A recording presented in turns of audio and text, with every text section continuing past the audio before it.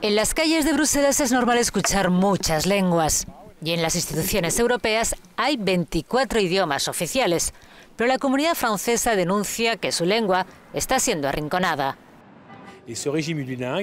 Hay un régimen de monolingüismo y es anglófono.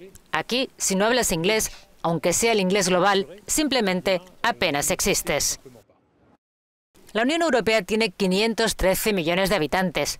El 18% habla alemán como lengua materna, el 13% inglés y el 12% francés. Pero incluso si hay más italianos que franceses, en las instituciones el francés y el alemán se han convertido en segundas lenguas.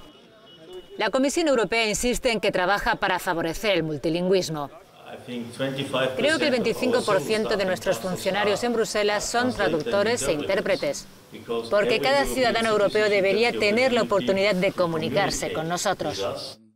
Pero el alemán es un idioma que se escucha raramente en la sala de prensa de la Comisión Europea. En realidad es culpa nuestra si no se habla alemán. Los funcionarios alemanes están muy contentos de hablar en otros idiomas, como el inglés. Son políglotas. Nosotros deberíamos ser los primeros en insistir para que se hable más alemán.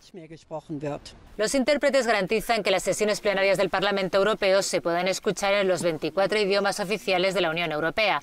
El catalán o el vasco no están considerados como tales, pero están catalogados en cambio como lenguas de comunicación, lo que significa que los ciudadanos pueden dirigirse a las instituciones en estos idiomas.